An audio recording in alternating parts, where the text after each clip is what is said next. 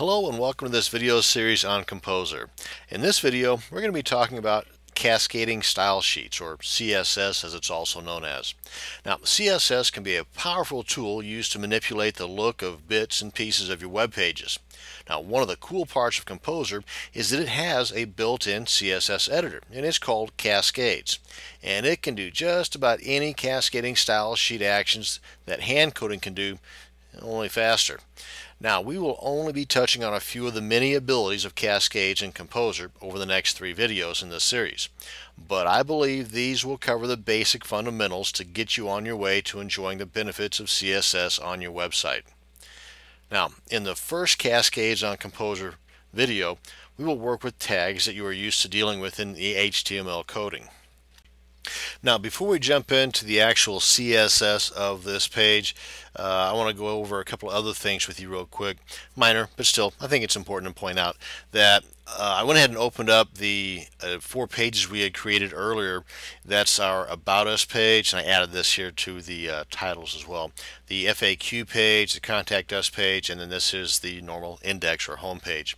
But as you can see here you got this little red box, red and black box up here, and don't have here or here or here.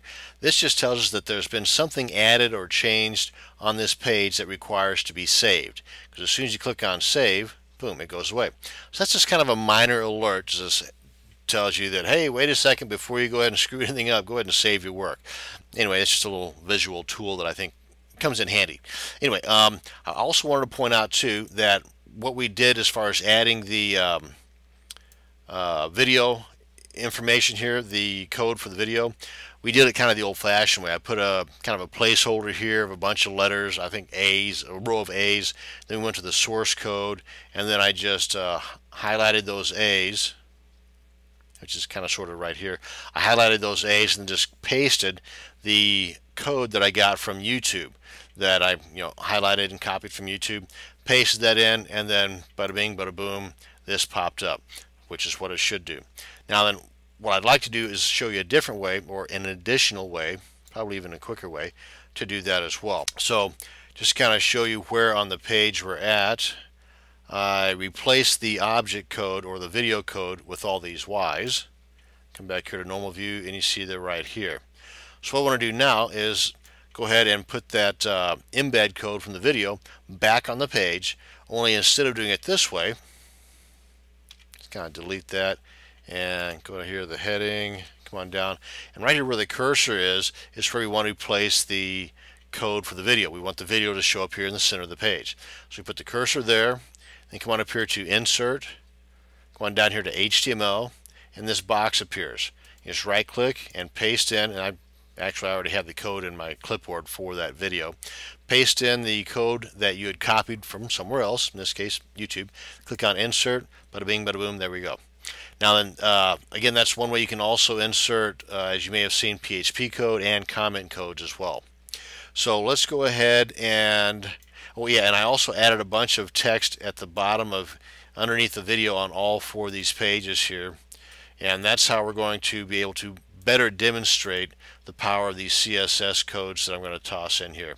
As you can see here, the header's a little bit different here than it is here and here. Well, they're all going to be the same by the time we get done with this video. Now, then one thing too, go ahead and click on save, get rid of that guy, is that here, when I click on this, you can see it's the H1 or the heading 1 tag. Drop down here, we got heading 2, and the, the larger the number gets, the smaller the text gets. You can see here, gets really dinky for H6 or header 6. So let's bring this back up to 1, and let's check out the source code for this. I just want to show you this now and compare it to the CSS replacement. So basically between this H1 and this closing H1, all of this here deals with this is my heading which is this right here.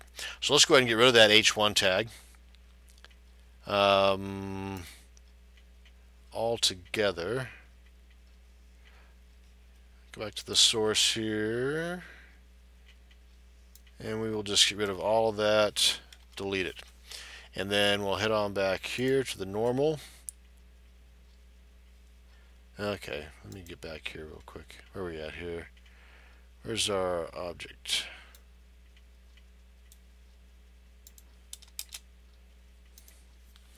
Let's throw in that placeholder just for the sake of it. There, we got some room above here. Now we're going to, so you can see it says body text. Uh, this is just typical body text. And by the way, this is another tag we're going to work with. But first off, we're going to go ahead and deal with the H1 tag. So let's go, go ahead and open up our Cascade sheets here. Now you can go up here to the CSS editor palette here to get to our CSS editor or you can always go over to the tools. Come on down here to CSS editor as well. Either way get you the same spot. Now what we want to do is go over here and click on new. Actually let's click, click on the palette and it'll bring up this is what we're looking for. And we want to down here name the tag that we're wanting to add attributes to. And in this case we're going to mess with the h1 tag. Create style rule and the H1 is basically for the header, you know, the big stuff in the center. So let's go ahead and go to text. We're going to predefine this. And you can see down here in the viewer box what it's going to look like as you go along and make these additions. Uh, as a matter of fact, we can also do the same thing here. If we go ahead and let me get out of here real quick. Just put the cursor in here and you see right now it's assigned to the header 1 tag. I know, let me show you this too. Let's go to the source code and see how this looks as a typical HTML code. And then we'll show you what it looks like uh, with just the H1 or with the uh, CSS styles. Right here, all of this stuff right in here tells you how to interpret or tells the browser how to show that text. This is my header. So we got all this right here, pretty much three lines. Okay, just got one, two, three. Now then, go back here to normal, and this is the H1 tag, or as it says, header tag, same thing. Now let's head on back over here to our CSS palette, and go up here to new, name our H1 tag, create the style rule. So we can come down here, we should be able to see the changes take place as we manipulate or add to those attributes. Let's see if we can change this up here. I guess it didn't, did it? Maybe because it's already been selected, but we'll see here in just a sec. Uh, the font weight, we're going to go with, uh, say, 36. I know that's kind of large. We're going to do pixels. And you can either drop down, oh, you see, yeah. You can either do a drop down, uh, you have to put in the number first, and then do a drop down to determine if it's percentage, pixels, points, centimeters, and so on. And you can adjust it this way too. And you can see over here how it's making the change as we go along, as we're going live, so to speak. Yeah, 28 will work. Line height, eh, we're not going to mess with that here. Uh, the color, we want to make our H1 tags red. Of course, it's already red, so it won't be any different. And then click OK. And then font weight, we're going to go with bolder. That's pretty much what it is right now. And font style, you got these choices, the case.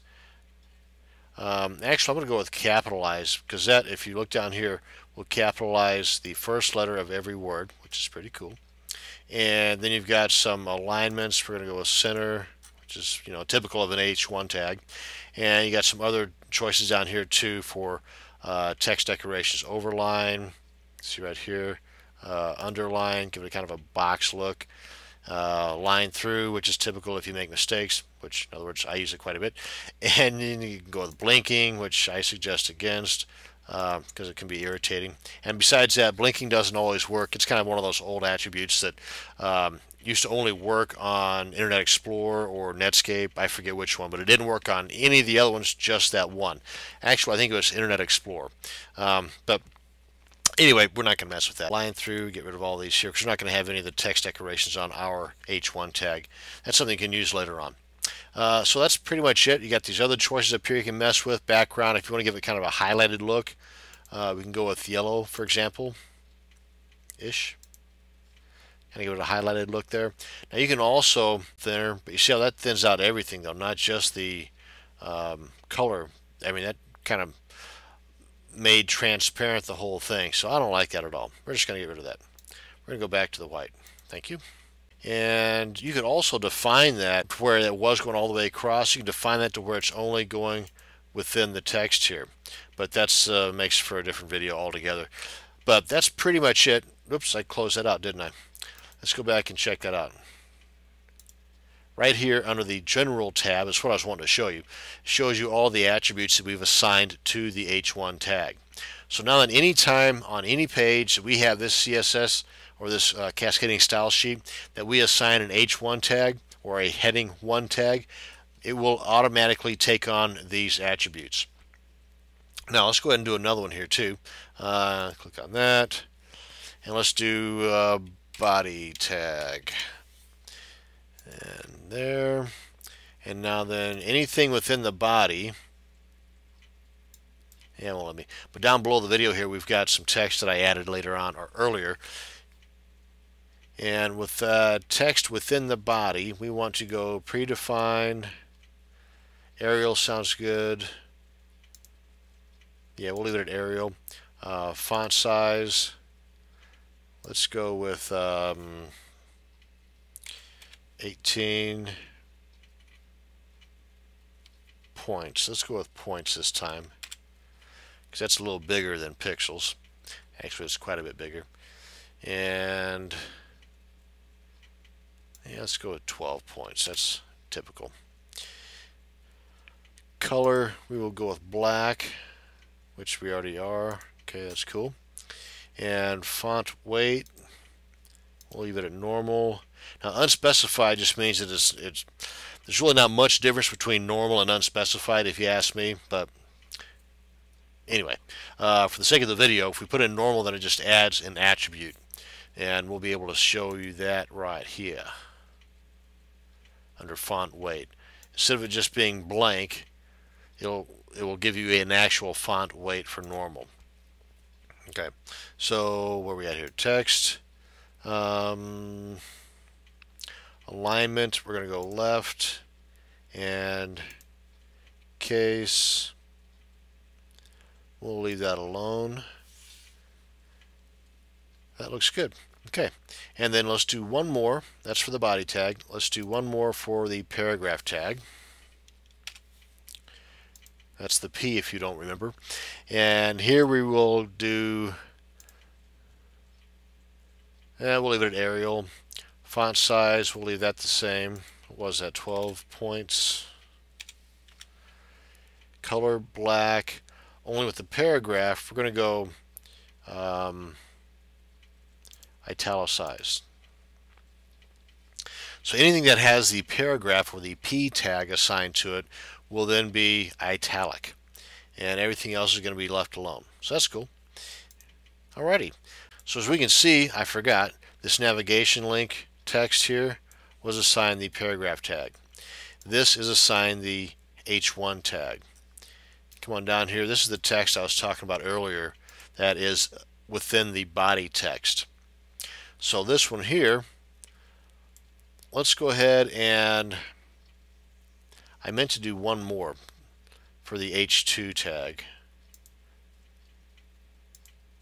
Let's do one more for H2.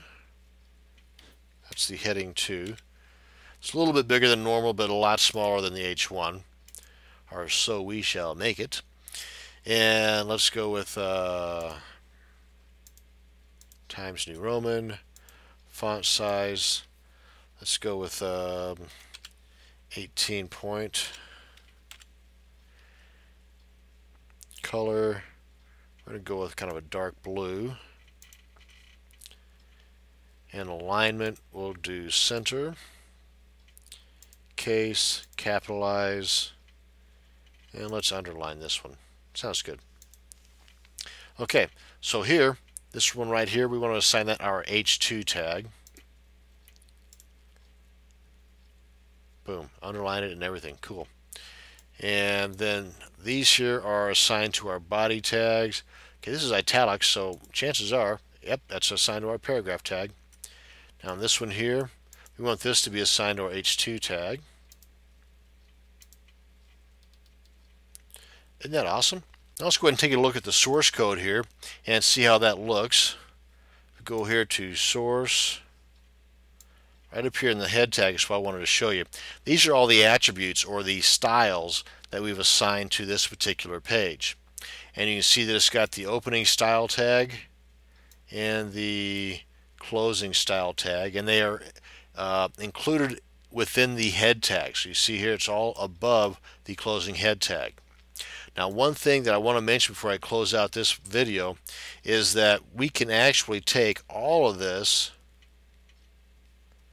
off of the page altogether and replace it with a link. In other words, we can create an, an, entirely new page that contains just these styles and we can assign that a, a name, say George's CSS or main CSS or whatever you want to call it, and I'll do that in an upcoming video but we can have a link on this page that goes to that page that's also uploaded to our server and every page that we have that link on all we'd have to do is come in and make a change. If we wanted to change, say, the uh, color of our H2 tag from blue to uh, red, all you have to do then is just come on down to our H2 tag and then change it from, this is blue, and if you recall the RGB factor, this one would be FF, and that would be 00.